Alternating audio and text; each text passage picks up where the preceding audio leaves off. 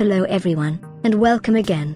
So finally, Microsoft has made creating PDF easier by introducing a new feature called Print to PDF in Microsoft Windows 10. Now, you can easily convert any of your documents into PDF format. However, Print to PDF is not included with a bunch of features, but still it is acceptable, as you convert your documents into PDF in just a few clicks and you no more require installing third-party application. To do this, open the document that you like to convert into the PDF file.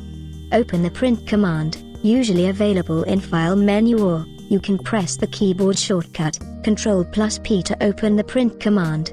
Here you can see a new printer along with your other devices called, Print to PDF. Select the printer, and change the preferences if requires, like setting the page orientation and paper size.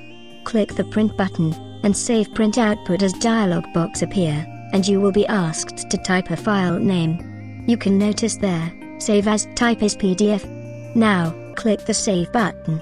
Double click the new file to open it with a PDF reader.